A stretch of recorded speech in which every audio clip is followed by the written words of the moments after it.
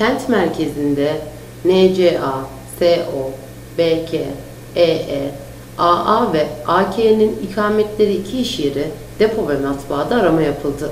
Aramalarda 30.420 dolu makaron, 289 kilogram kıyılmış tütün, 27.800 boş makaron, 8 kilogram paketli tütün, 13 sigara dolum makinesi ve kompresör ele geçirildi. Operasyonda 6 şüpheli gözaltına alındı. Emniyetteki işlemlerinin ardından adliyeye sevk edilen zanlılar çıkarıldıkları nöbetçi sulh ceza hakimliğince tutuklandı.